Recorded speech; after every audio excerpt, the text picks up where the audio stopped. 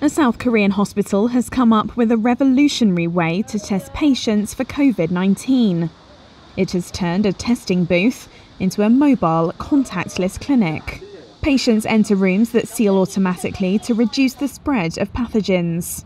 Nurses can then reach patients through windows fitted with rubber gloves, and doctors can speak remotely via video. Telemedicine for basic treatment can also be accessed in the booth. Previously, patients with fevers or respiratory symptoms had to wait long hours to see a doctor and had to be isolated. Here's Lee Mi Yun, the director of Hallym University Medical Center. It is very difficult for people with fever or respiratory symptoms to get professional medical treatment due to the coronavirus situation.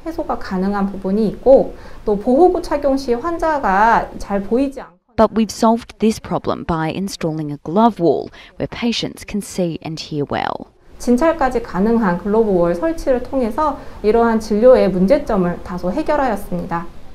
Hallym Hospital developed the one-stop clinic to protect staff, freeing them from the burden of wearing full-body protective gear in the sweltering heat. Some nurses, like Jung and Sol, are still needed on site for basic COVID 19 testing or temperature checks. But they no longer need to put on high protection gear gloves, safety glasses, face shields, and chemical resistant boots. The hardest thing was the hot weather, but I also couldn't communicate with patients and it was hard to breathe. It's really good as I don't need to wear level D personal protective equipment. I was not able to use the bathroom easily or eat any food with PPE. But now it's really nice that I don't have to wear uncomfortable level D. So I can use the bathroom and eat food, and I can communicate well with the patients through the microphone.